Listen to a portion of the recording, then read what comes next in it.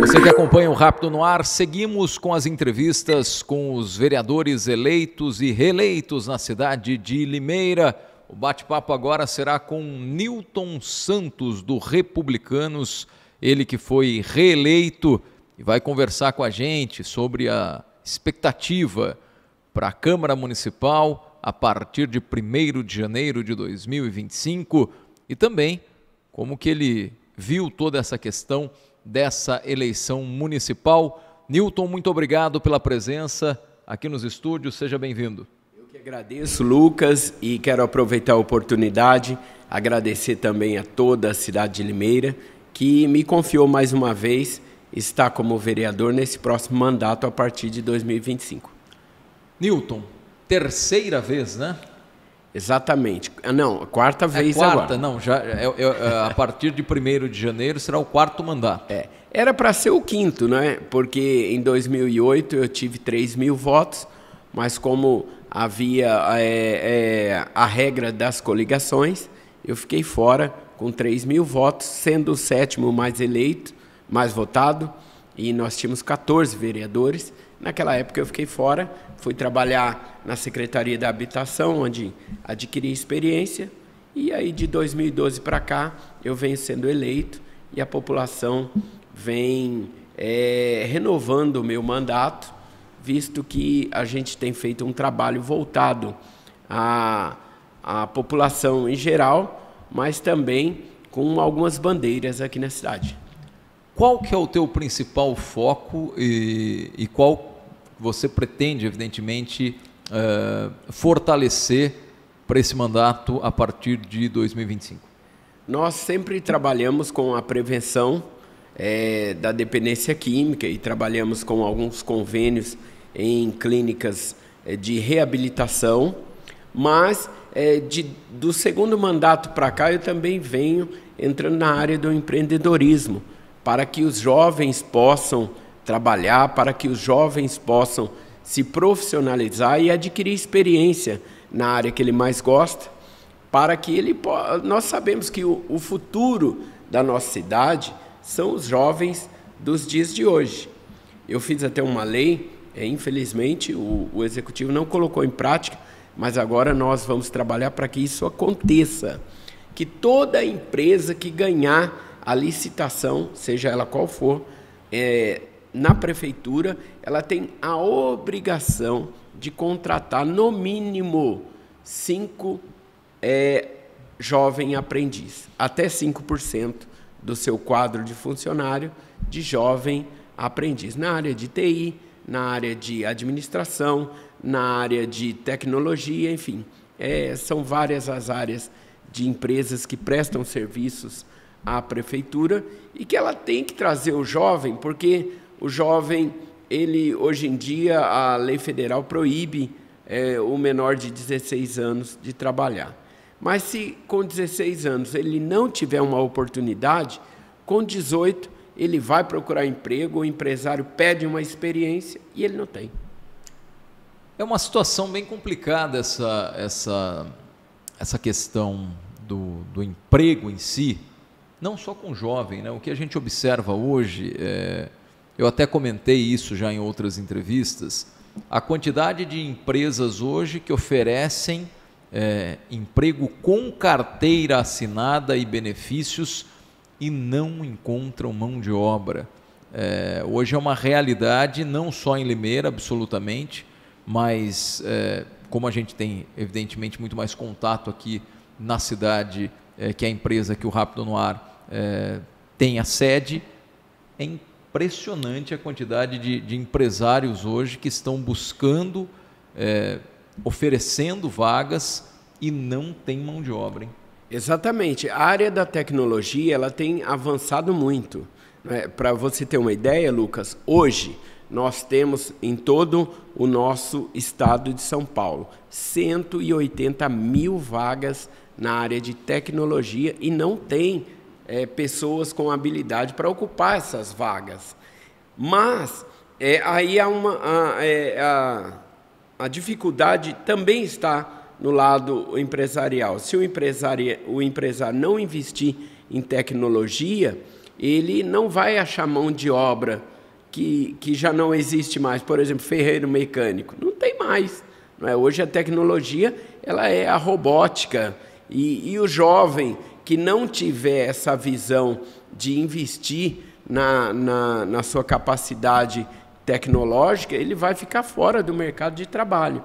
E cabe também ao poder público investir na área da tecnologia, que é o que não está acontecendo na cidade de Limeira e que nós já estamos fomentando para que essa nova administração ela venha ter um investimento na área de tecnologia. Hoje uma empresa, uma empresa, ela, é, ela se resume a alguns aparelhos de, de, de notebook, enfim, ele coloca a empresa dele dentro de um carro e vai embora da cidade. Então a cidade tem que investir e dar também atrativos para que essas empresas tecnológicas venham se instalar na cidade e, consequentemente, isso vai mudar. Nós, é, eu principalmente, eu venho, eu conheci a, a Sonata, era disco, né, o disco de vinil. Depois foi o, o cassete. Depois foi o pendrive. E hoje é o Não, Bluetooth. Disquete. É o disquete. Depois o pendrive. Depois o Bluetooth. E hoje, hoje é a nuvem. É nuvem. né? Tudo que eu tenho está nas nuvens, hein, pessoal?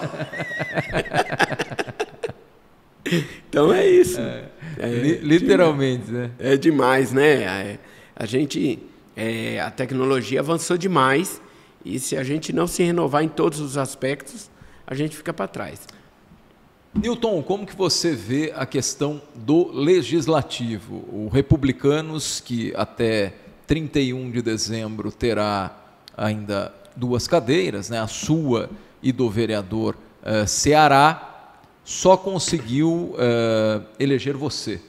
O Ceará uh, ficou de fora, assim como outros nomes bastante conhecidos da política, o Jorge de Freitas, a própria Constância Félix. A Constância foi mais por questão de escolha do partido. Né? O partido não conseguiu chegar ao coeficiente, mas ela teve uma votação até expressiva. Como que você vê essa questão do Republicanos em si, que literalmente, se for levar o pé da letra, per perdeu uma cadeira uh, para a próxima, próxima gestão? Exatamente. É, porém, eu já estou sendo procurado por alguns novos vereadores, visto que já estão me chamando de decano lá na Câmara Municipal, por estar há vários mandatos, e, e nós temos uma vasta experiência dentro do legislativo, então os novos estão procurando para poder é, se orientar e, e tomar é, partido como que é, até porque eu não tenho inimizade com ninguém, não é? Eu faço questão de que novos legisladores se apresentem com boas ideias para que a cidade possa colher os bons frutos disso. Porém, o republicano é o partido onde nós temos a, a presença do governador. O governador é filiado ao partido do republicano e isso traz uma força muito grande para ajudarmos a cidade de Limeira. É óbvio que o Ceará ele não tem mais a cadeira no legislativo, mas ele tem uma importância muito grande dentro do partido do Republicanos e com certeza ele vai ser um, uma ponte muito grande entre o município e o estado, visto que a gente já estava fazendo um trabalho muito grande na área da habitação. Newton, e como que você eh, observa essa formação da, da nova Câmara Municipal. Né? 11 vereadores foram reeleitos, 10 são novos, alguns, é verdade, é, retornam, o caso do Marcelo Rossi também, do, que já, já, já ocupou uma cadeira e, e retorna, mas é, foi praticamente quase que é, 50% de renovação. Como que você enxerga é, essa, essa Câmara Municipal a partir do ano que vem? Eu enxergo ela muito produtiva porque vem ou a experiência daqueles que já estão com a, os novos que vêm trazendo novas ideias, novos trabalhos e sangue novo para poder colocar em prática na Câmara Municipal. Nós sabemos que ninguém faz nada sozinho. A política não se faz sozinho. Então, há a experiência com os, os novatos que chegam trazendo é, novas propostas, novos projetos que, consequentemente, serão colocados em prática, mas com a experiência daqueles que já estão.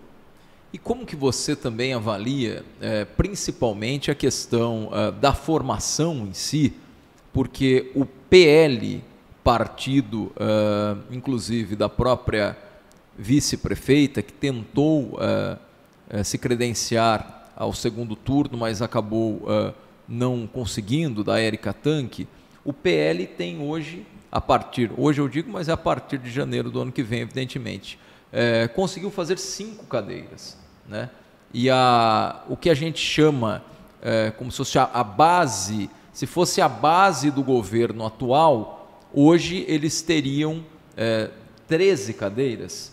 É, como que você avalia isso, principalmente para o próximo gestor, independentemente de quem seja, é, ou o Betinho ou o Murilo, eles terão então, pelo menos assim, o, o, o Murilo tem uma, uma cadeira né, que, que conseguiu fazer.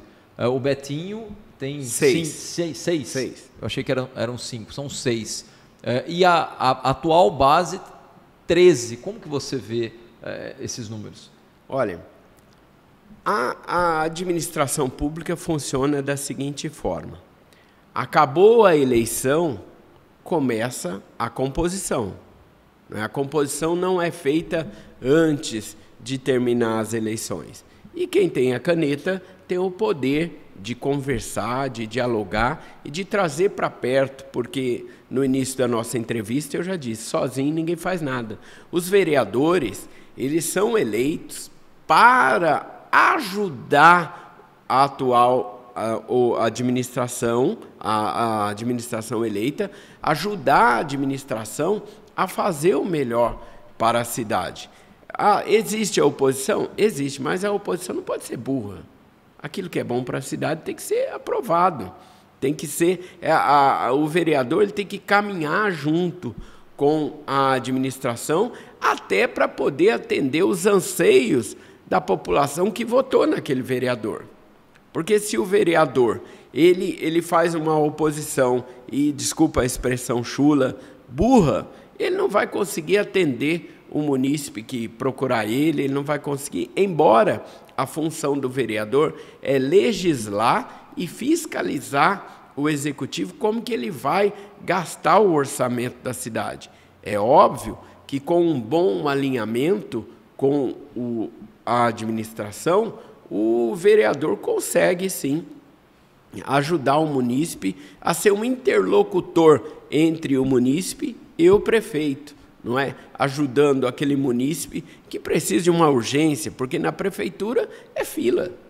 Na prefeitura segue um rito de fila, na saúde segue um rito de fila na, na questão do atendimento social, mas há casos e casos. E é aonde entra o vereador para ser o representante da população e clamar pelo bairro onde ele mora, clamar pelo posto de saúde onde é mais próximo à sua casa, exigir que aquela pessoa que tem direitos e está ficando para trás, ela seja assistida pelo poder público, mas isso tudo também depende de um bom alinhamento com o prefeito.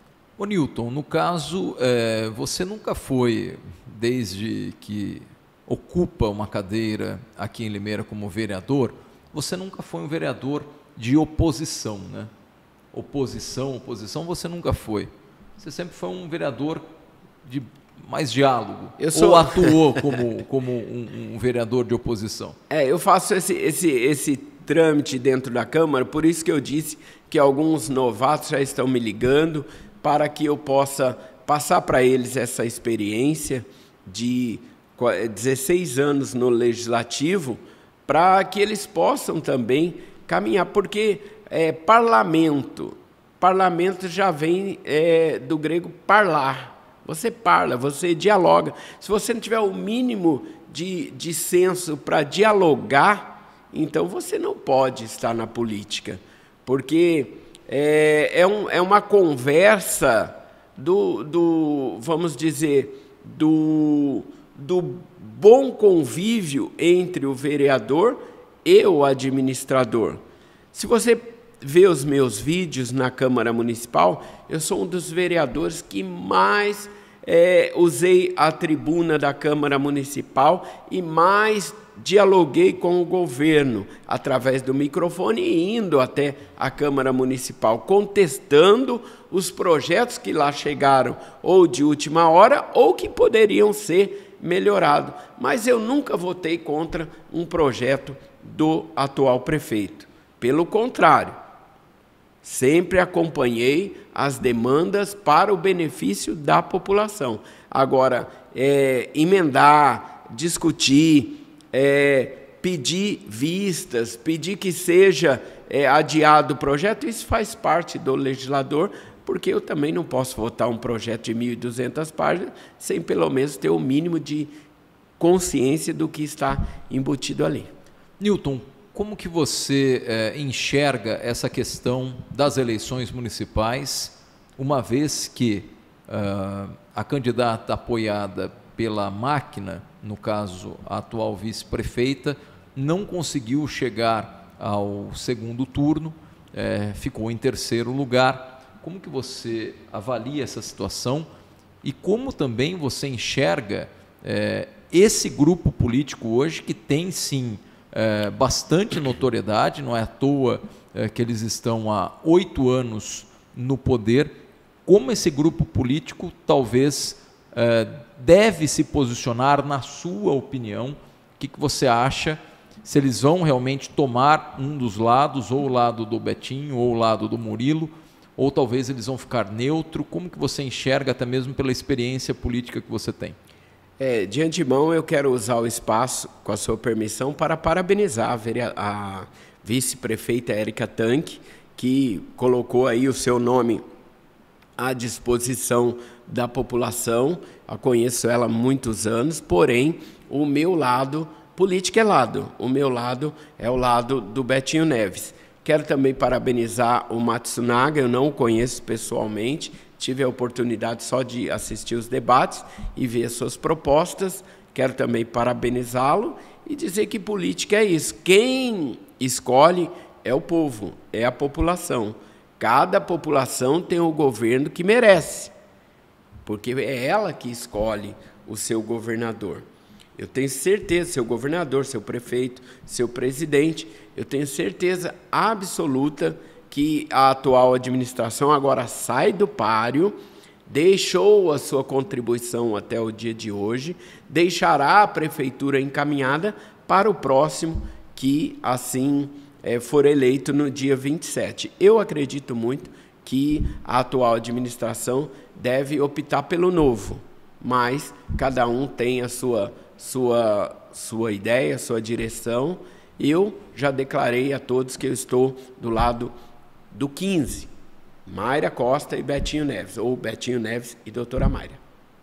Como que você enxerga essa questão uh, desse cenário político, o, o Newton, principalmente uh, com ataques, com ameaças, com situações, uh, ameaças até que talvez seja uma palavra um pouco mais empregada até de uma forma, não sei se é tão correta, mas circulou muita coisa, muito vídeo, muita coisa fake, já era já era algo previsível né, numa eleição. Não deveria ser, mas infelizmente a, a história se repete.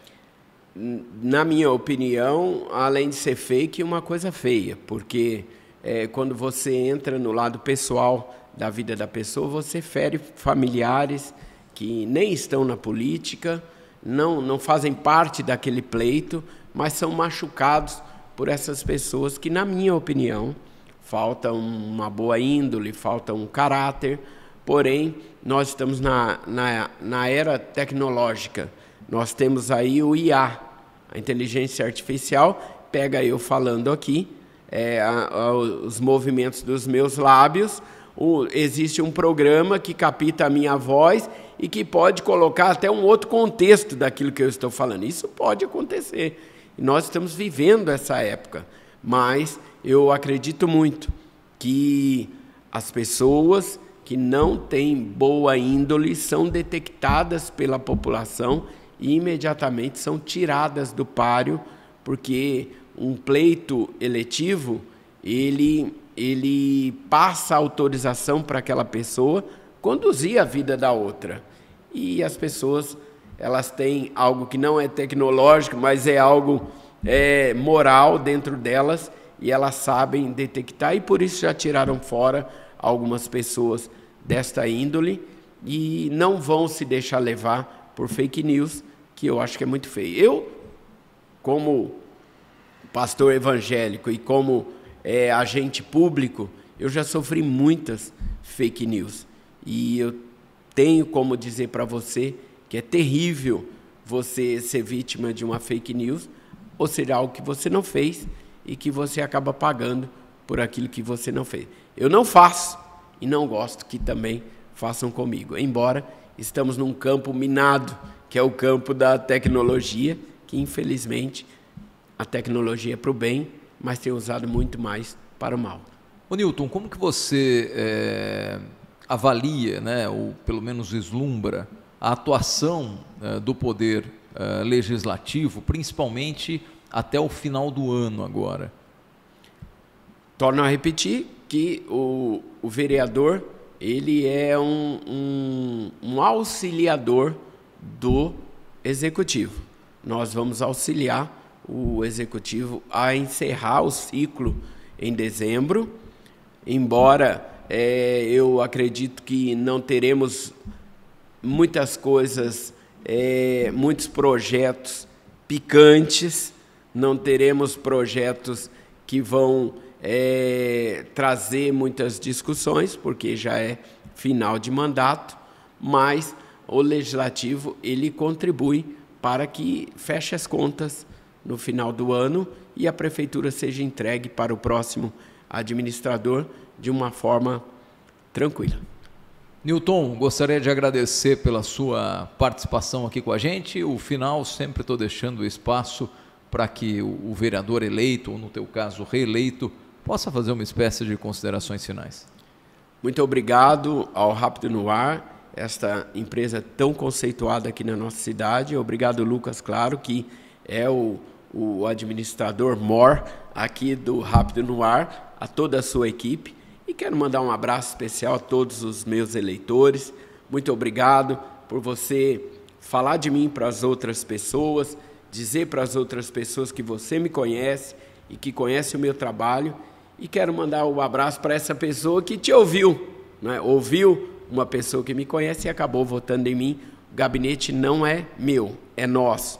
E você que não votou em mim, também quero trabalhar para você, fazer o melhor e caso você precise, estarei no gabinete 10 à sua inteira disposição. É, Lucas, eu quero que você me permita, eu acho que eu sou um dos únicos vereador e candidato, na, quando candidato, que no meu material de campanha coloquei o meu número de telefone, que há mais de 20 anos eu não mudo o número. O número do meu celular é 988 33 43 20.